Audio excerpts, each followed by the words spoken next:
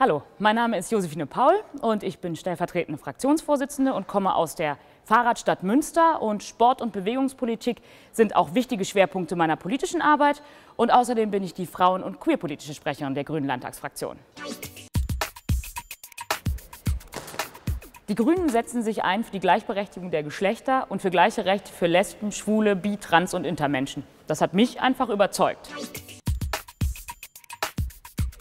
Frauen sind der Schlüssel zum Erfolg. Deshalb brauchen wir auch in den Parlamenten mehr Frauen. Außerdem setze ich mich ein für eine Familienpolitik, die die Vereinbarkeit von Familie und Beruf auch und gerade für Frauen lebbar macht und ihnen eine eigenständige Existenzsicherung ermöglicht.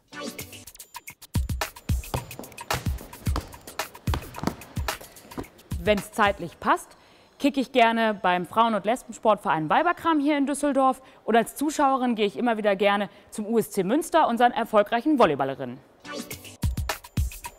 Regenbogenfamilien haben endlich die gleichen Rechte. Behinderte und nicht behinderte Menschen spielen in einer Liga zusammen Fußball. Und alle Menschen, die dauerhaft in NRW leben, egal ob mit oder ohne deutschen Pass, dürfen den Landtag wählen. Denn es ist normal, verschieden zu sein.